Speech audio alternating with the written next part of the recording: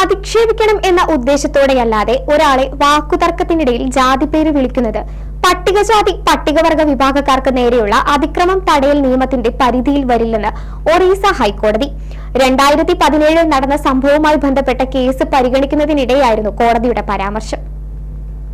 ജോലി കഴിഞ്ഞ് വീട്ടിലേക്ക് മടങ്ങുന്നതിനിടെ ഒരു സംഘം തന്നെ ആക്രമിക്കുകയും ജാതിപ്പേര് വിളിച്ച് അധിക്ഷേപിക്കുകയും ചെയ്തുവെന്ന് ചൂണ്ടിക്കാട്ടി യുവാവ് പോലീസിൽ പരാതി നൽകിയിരുന്നു.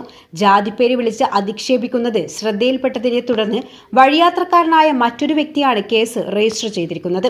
കേസ് ഫയൽ ചെയ്തിരിക്കുന്നത് ആക്രമിക്കപ്പെട്ടയാളല്ലെന്ന് ചൂണ്ടിക്കാട്ടിയ കോടതി അധിക്ഷേപിക്കണമെന്ന മുൻകൂട്ടിയുള്ള ഉദ്ദേശത്തോടെയല്ലാതെ ജാതിപ്പേര് വിളിക്കുന്നത് നിയമപരിധിയിൽ വരില്ലെന്ന് വ്യക്തമാക്കി.